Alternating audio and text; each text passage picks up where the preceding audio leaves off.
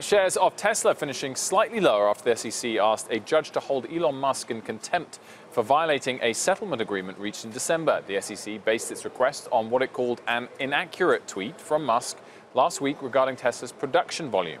Musk then called out the SEC for its lack of oversight after a Twitter user pointed out that Musk's initial tweet didn't actually move the stock, but that the SEC's complaint did.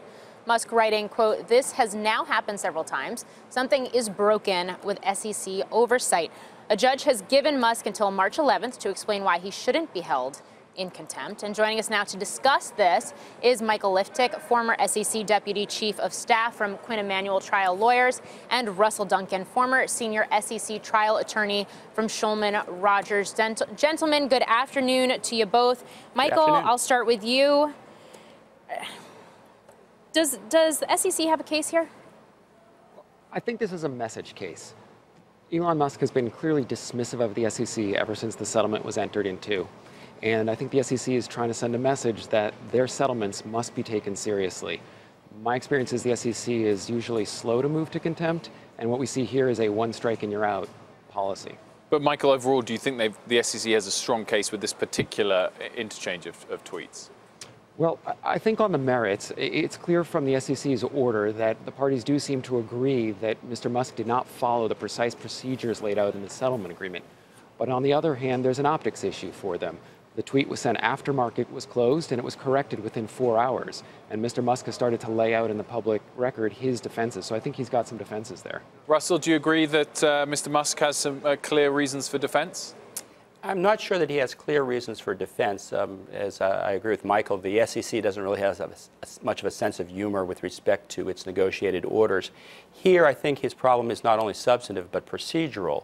There were clear procedures placed by, placed by the judge on him by which he had to comply in order to send out these tweets, and he clearly did not. Uh, that was admitted by his lawyers and, its, and their correspondence with the SEC.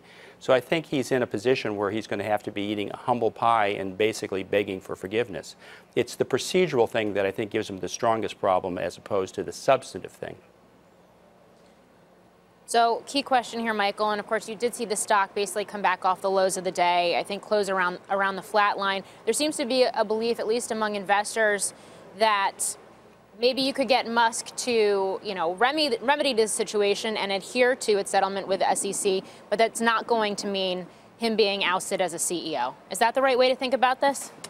That sounds about that sounds about right.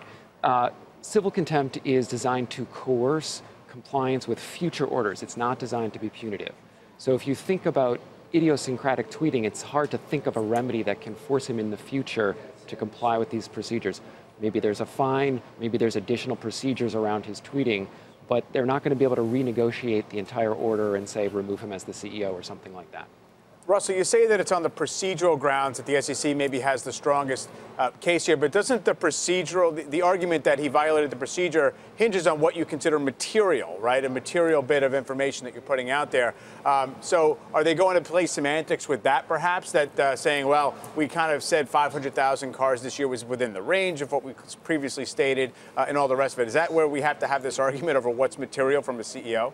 Well, I agree in certain circumstances what's material is very relevant to what the SEC does, but here they have put in place certain procedures, including uh, you know, basically a 24-hour uh, period in which he's got to get approval. The, that approval itself expires after 48 hours.